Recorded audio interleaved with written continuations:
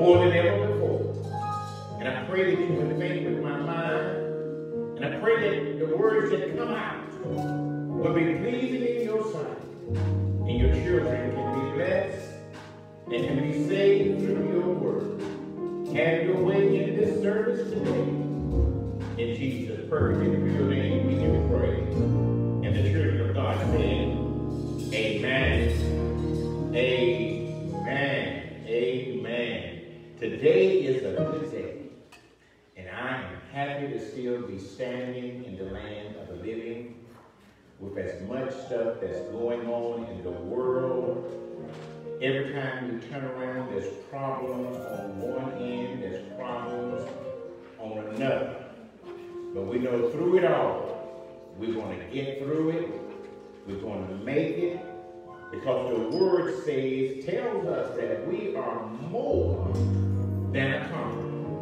That we can do all things through Christ, which strengthens us. Now today is our first Sunday, which is communion.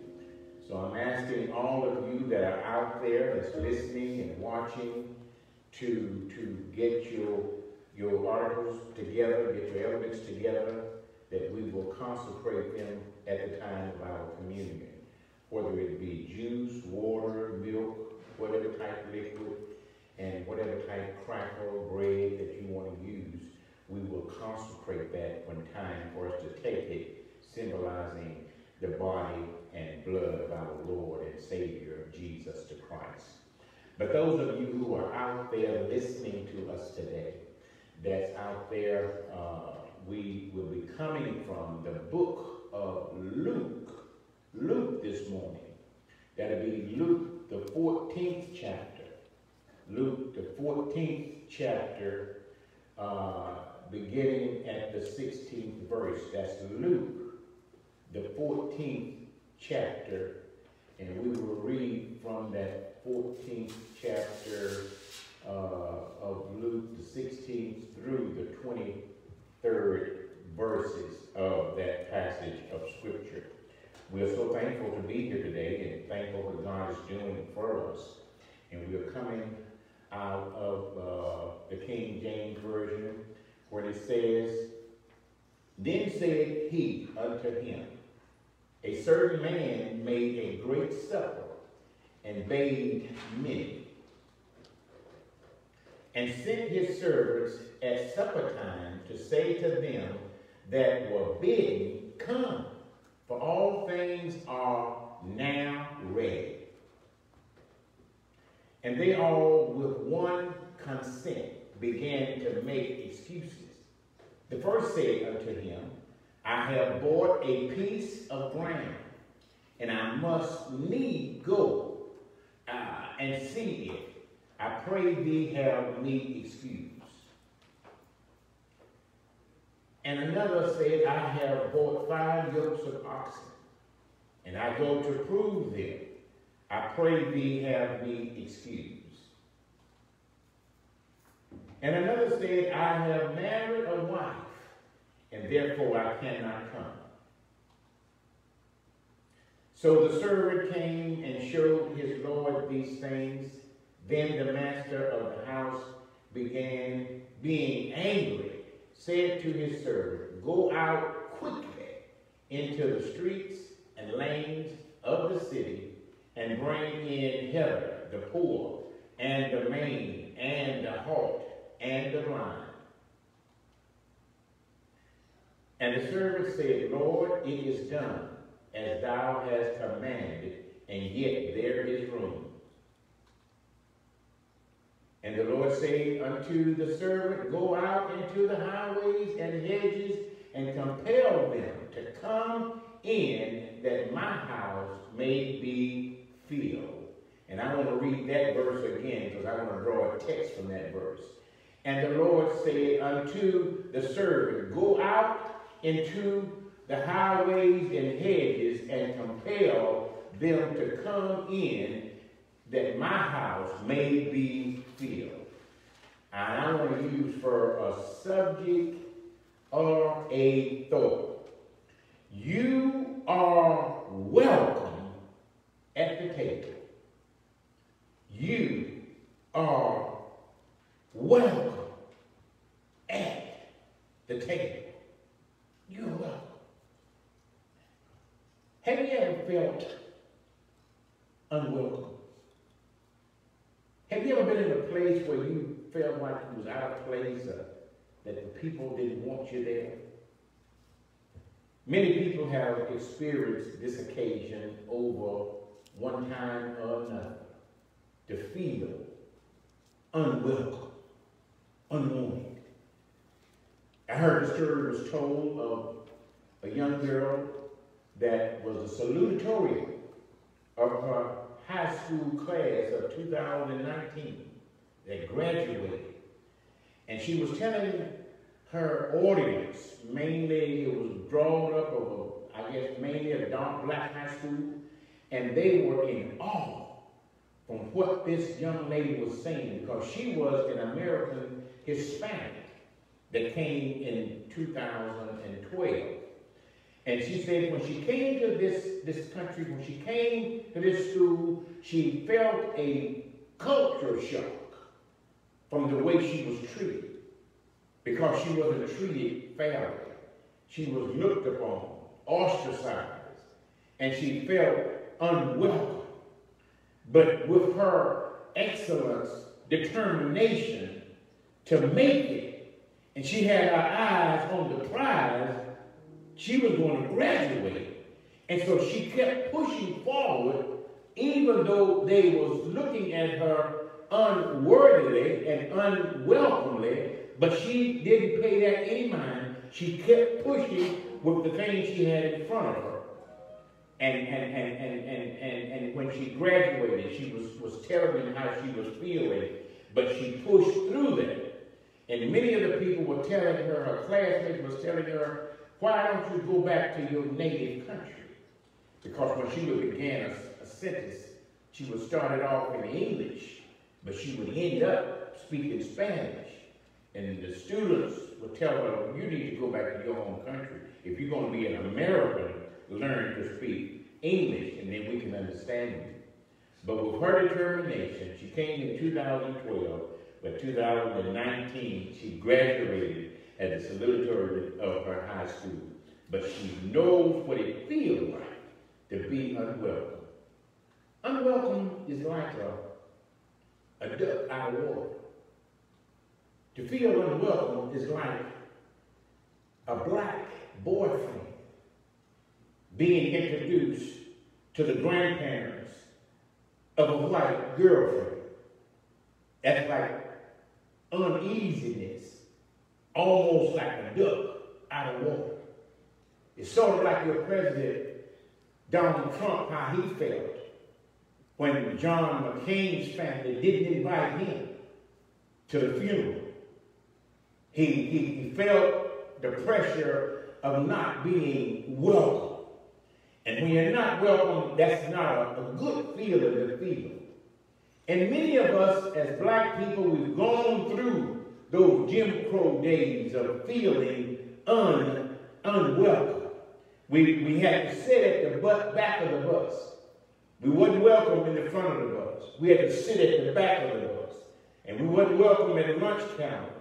We had to leave and go back to the back window to order food. We, we didn't feel welcome. And we who are children of God, we've gone through that, so we know what that feels like. But I stopped by to tell you on my way to heaven that there is a table where all of us are welcome. No matter whether you're Hispanic, no matter whether you are Negro, Caucasian, black, white, green, purple, male, female, you are welcome at this table. You're welcome. You are welcome Now, looking, looking at our text, we see here where, where, where Jesus was talking about a host who had prepared a meal. And the meal was prepared that God was trying to demonstrate that he was trying to draw people into the ark of safety. And this, this host was prepared the meal and sent out invitations to all to come. But each one who he had sent out invitations to, they came back with excuses. They couldn't come for this reason, or couldn't come for that reason. And so Jesus, what he did, he, he kind of changed up the Old Testament strategies, how they would invite the VIP. But Jesus opened up this door, whosoever will, let it come. Because the Jews refused him. The Jews refused him because we can find that in, in John, the first chapter and the 11th verse, where the first chapter and the 11th verse say he came unto his own, and his own received him not. But it went on to say to, to as many as received him, to them he gave them the power to become the sons of God. Even those that believed on his name. In other words, God is opening up this door that all of us can come and sit at the table. You are welcome at this table. And I want you to know that when you come to this table, this table is, is a table that's prepared. This table may not have, a, I mean, you get more than collard greens. You get more than ham hocks. You get more than steaks, candied yams. But this table is a table of blessings that you can receive.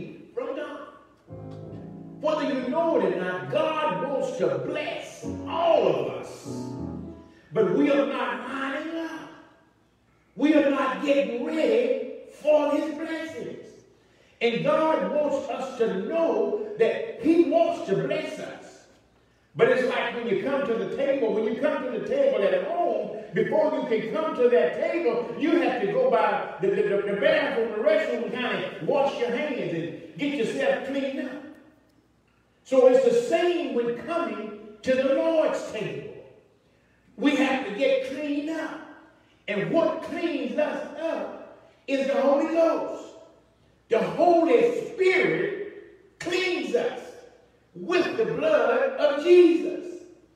The blood of Jesus washes us, and the Holy Spirit nudges us into repentance so we can be restored to sit at the table of God's blessing. And see, he, he got blessings in store for us. And I want us to understand, if you want to get lined up with God's blessing, I want you to get washed up, get cleaned up, come to the table. And God will start blessing you. You will start seeing blessing that you hadn't seen before. He will open up doors in your face that are being closed. He will do that. And I want you to know, you see, when you come to the table and, and the Holy Spirit washes you with the blood of Christ, and he, he nudges you to repent. Ask the Lord to forgive you for my bad deeds. Forgive me for my misconduct. Forgive me for the things I've done wrong. And once you get washed up, you see, the Holy Spirit anoints you. And, and, and, then, and then, as he anoints you, the power of God falls upon you, and it illuminates you, and it makes you ready to receive the blessings of God. And once you're ready to receive his blessing, it'll make you a worthy vessel. And I'm not trying to hurt nobody because all of us have sinned and come short of the glory of God. None of us are perfect. None of us. All of us need the grace and love of God. But I want us to have enough understanding that we need to come to God for our repentance and let God open doors for us. Because I want you to know that in God's house, everybody is welcome. Now that you've learned how to prepare yourself for this table, everybody is welcome. There's no uh, big I's and, and little U's in, in this, at this table. This table is designed for everybody. And God wants all of us to come and sit at this table. I can imagine Matthews probably felt like he was not worthy to be able to sit at this table. Because Matthews was a publican and he was a tax collector. Even though he may not be been an evil, hateful man, but he was hated throughout the community. And the reason the people hated him, the publicans, because they had a zeal for going after tax money with an increase on it. And they would go after the rich. The rich hated him. And then they would go after the poor. And the poor hated him because he was sucking the lifeblood out of them. But even at that table, after doing Matthew knew he wouldn't be one that would be welcome at that table. But Jesus welcomed him at that table. All of us are welcome to come to the table. And I'm praying and hoping that everybody that listened to me today will come to this table and, and, and get your blessings. I know many of us are looking and watching the TV for uh, to see what the country's going to do about extending unemployment. What you need to do, really what you need to do, you need to look to God for all of your help. Because God can make all of this come true through Him. Seek ye first the kingdom of God and His righteousness. And everything else you need will be added. Do I have any witnesses out there? Do I have any faith believers out there? And this, this problem that's going on in the world today, the antidote is found in Second Chronicles, Second Chronicles, the seventh chapter and the 14th verse. That's the antidote for it. If my people that are called by my name would just humble themselves and seek my face, turn from their wicked way. And the Bible says, then I will step in and heal the land. So God wants to help us. So we got to take his word just as he says and stand on his word. And I want you to know that when you stand on his word, give his word back to him when you're praying to God. Say, God, you said, you said in your word that you will do this and you will do that. So I'm standing on your word. And we learn in, in Bible study that, that the faith of a mustard seed will move mountains. Whatever amount of faith you got is enough faith to get what you need. And the good part about it everybody was born, that was born with a measure of faith. So you already got things working in your faith. You do have a seat at the table. God going to take care of you. All you got to do is trust Him. All you got to do is depend on Him because you are welcome at His table. God is so good to all of us. And He wants us to know that He is standing right by our side. Even in the midst of this pandemic that's going on, God got our back. And He wants you to know that He's there. And all you got to do is, is call on Him. But I want to know that, let you know this. There's a, another table. There's another table. There's a table of salvation that we have to realize. Finally, my brothers and my sisters, as I bring the word on in, I want you to know that there is a table of salvation. Every believer has a reserved seat at this table of salvation. Everyone that trusts in God have an invitation at this seat of salvation.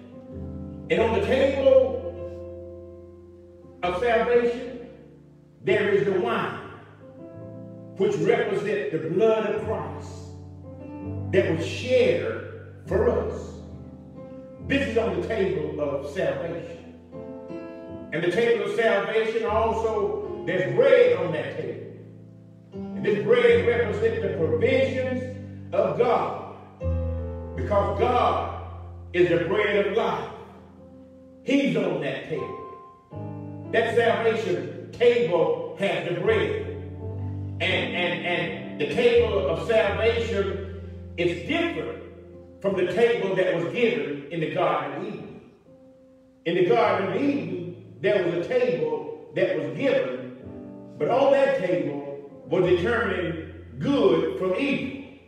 But there was no salvation at that table.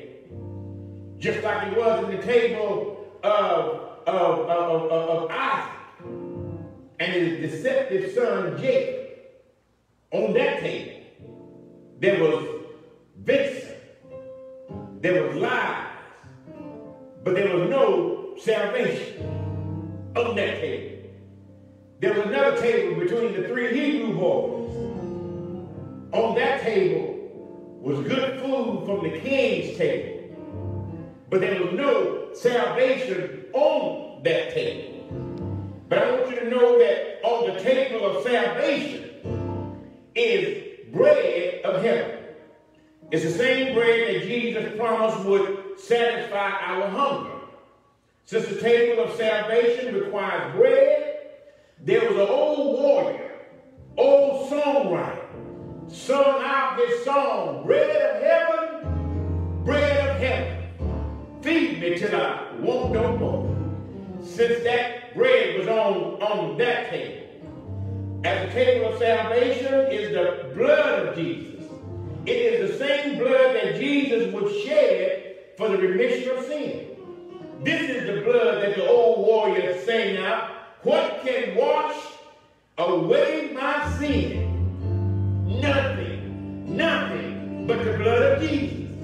What can make me whole again? Nothing but the blood of Jesus.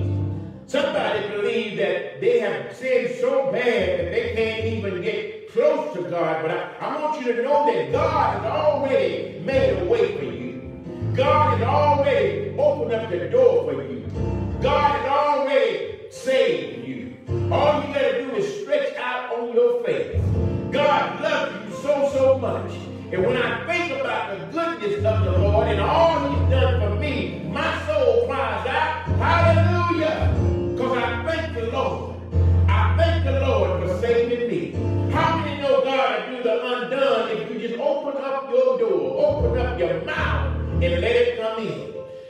Because he stands at the door and knock. He said, if any man hear me and let me in, I come in and sup with you. And there is somebody who believes the table of salvation is expensive. I can't afford it. But I want you to know that Jesus paid it all. It was expensive, but he paid it all. Because, because he paid it all, because sin had left a crimson stain. But he washed it white as snow. He paid it all by picking up an old rugged cross. And I can see him in my mind as he was going up the hill, Golgotha's hill, and falling down, but, but looking, and he had you and I on his heart and on his mind that he, he had to do it because he wants all of us to have the opportunity to be saved. And if you are here today, God wants you to know that he has made preparation for you to have a seat at the table. Everything is paid for. Come and let God bless you. Come and let God move you. Come and let God give you what you need. How many know that God allowed his angels to watch over? That's why I say all day and all night, angels are watching over us. We as children of God, God got our back. In the book of Lamentation, the third chapter, the 22nd verse, it talks about new mercies that's given to us every morning. Not the same old mercy, but brand new mercies every day. God got our back. That's why it's so good to come to this table and be washed by the blood of the Lamb. And I want you to know that when you come to the table, get washed. Let the Holy Spirit wash you, clean you up, and watch how your blessing will turn around in your favor. God wants to bless all of us. He don't want none of us to be lost. And all we got to do is just follow his guidelines. We walk by faith and not by sight. How many know that God got our back? I don't care what the world is pulling down to you. God got your back. I don't care how bad things may look. God got your back. I don't care what the, what's coming down in your house around your family. God got your back. When you come to this table, God will open up doors. He'll make know what I'm talking about? I'm talking about Mary's little baby, the bright and the morning star. I'm talking about the one that walked eight furlongs to the Jordan just to be baptized by John. I'm talking about Jesus, the bright and the morning star. I'm talking about the one that's all walking on water. Do you know him today? Have you tried for yourself? How many know that that day is coming when all of us going to have to stand before God? And if you are not ready, if you have not been saved, you have not stopped by this welcome table, you're going to find yourself lost. Please, ma'am, please, sir, hear me today because this is very vital. We are living in a pandemic time and we don't know where death is, but God knows. But it's up to us to be ready. What we do know, that it is coming to all of us.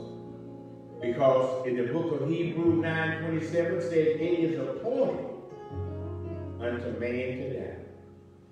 So we need to be ready, get ourselves in order, come to this table, and give your life to Christ. Sit down with him.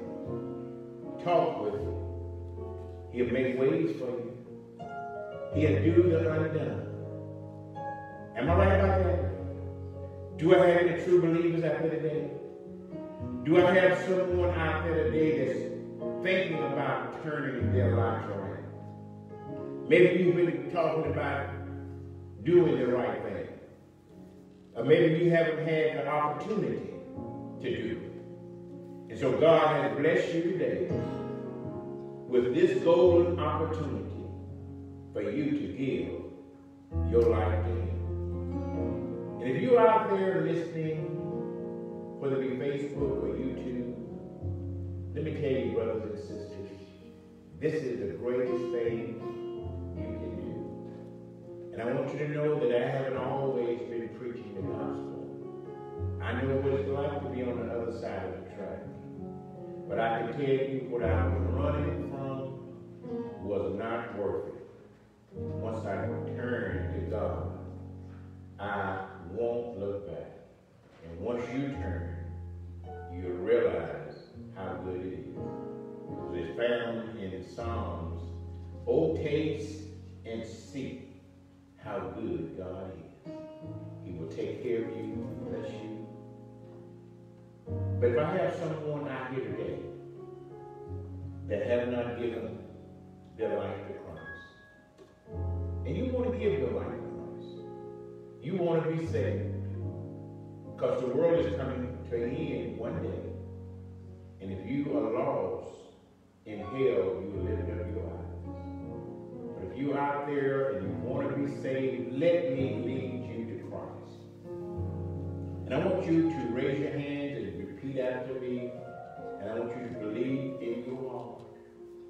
You can say, Jesus Christ, I am a sinner, saved by grace. And I know you died for my sins. And I want to come to your welcome table. I want to come where I can be blessed. I want to come, God, because I know that you died for my sins, and I do believe that God raised you up from the dead. And I know that my belief turns into salvation. Just by me saying that and believing that in my heart, I am saved.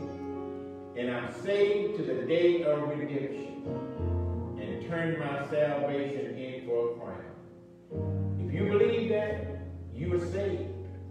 And I ask that you would find you a Christian-based church. I would ask that you would sign up, you would join this church, and learn more of the Word of God. Learn more what God wants you to do. Because God has blessed each and every one of us with a talent that He wants us to use working in His kingdom. And, and, and He wants us to get started. And once you get started working in the field that God wants you to work in, you will understand that the field He wants you to work in is far easier. And He makes ways for you to get through that field. And I'm asking you to come and do that now. And so after that, let us go to God in, in prayer. And we're going to thank God. Maybe there have been some that gave their life to Christ through this prayer we just had. Maybe some came in. And let's go to God in prayer. Our Father who art in heaven, hallowed be thy name. Thy kingdom come, thy will be done on earth as it is in heaven. And Father, teach me how to pray and what things I ought to pray for. Father, right now I pray for St. John Missionary Baptist Church. I pray for those who've been in the hospital, Sister Maggie Smith. I pray for Sister Irene Shear, who's been in the hospital. I pray for the Watson family who just lost their sister. And Father, really, I don't want to start calling names because I may miss somebody. But I pray right now, God, that you bless each and every bereaved family. Bless those that are going through. And I pray, God, you bless churches all over this land and country that are being held in your name. And Father, not only that, I pray that you bless Gaston County. We're dealing with Tony's ice cream, confusion there. There's confusion around the courthouse, the monument. Father, I pray that you would let your peace fall around these places, God, and give the leaders wisdom and knowledge as how to make the right decision, how to bless, how to open up doorways. And not only God in our local government, but I pray on the national level as well. Bless our president, Donald J. Trump, God. Open up his understanding. Bless his staff. God, we know you are still in control. We're praying, God, that your will be done. Praying that we will be able to accept your will and accept the things that you have set before us. Teach us, Lord, how to number our days. Teach us how to be good servants over the things you have set before us. Teach us to be thankful over the little things and recognize your hands involved. Father, we love you and we praise you. In Jesus' name I do pray. Amen. Also, also, I would like to make known to those who may have been listening, and you may be saying within your heart or your spirit that you want to contribute or help this ministry here at St. John Missionary Baptist Church. And I want you to know that you can come through PayPal and, and be able to send a donation of your choosing. Or you can do the old-fashioned way. You can mail it in. You can find the address on Facebook and find the address of the church and mail it in. You can do whatever you need to do to send it in. Look at our webpage, and it will show you the different um, apps that we have as far as receiving funds and receiving money. And when you think about giving, just realize God loves a cheerful giver. And whenever you are giving toward God's ministry, you give it to His ministry, He will always bless you you can give more. I, have learned that it's a blessing in giving. If you want to be able to receive, learn how to give. And God will open up these doors for you. But keep yourself in prayer and keep all other churches in prayer that's going through this pandemic. And I pray that other churches speed in their internet, in their uh, Facebook, YouTube, online streaming. And I thank God for the online streaming. What may seem to be bad, God can turn it around and make a blessing out of it.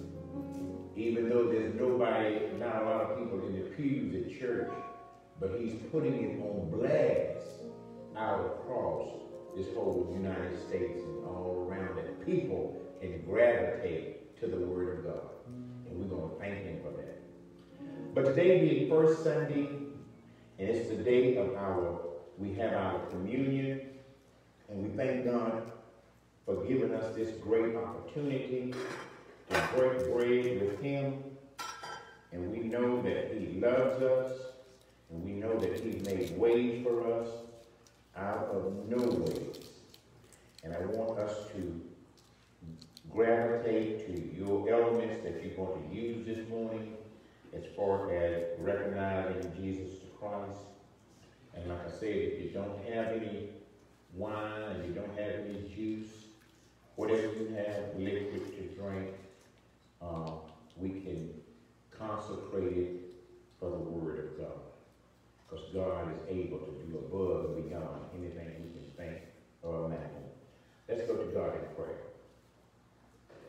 Gracious Lord, as we partake of your supper, Father, I pray that these elements that we are about to take, we will take them in the like manner in which they were given.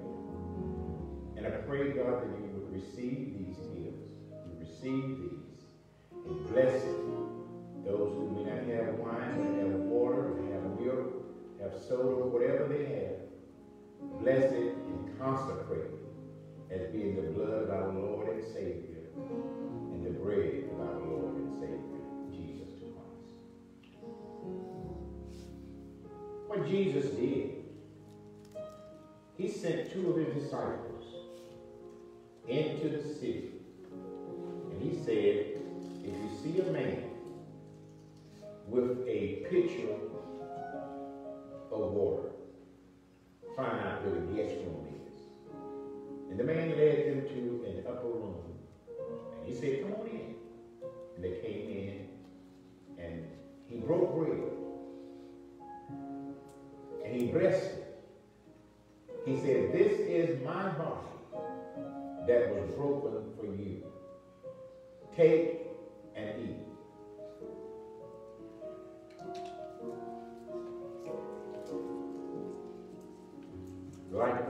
supper, he took the cup.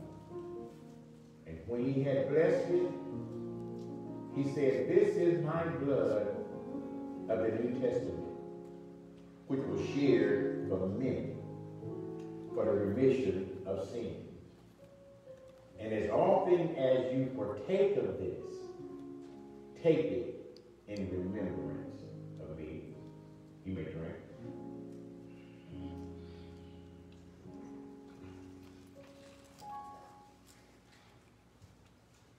After the drinking,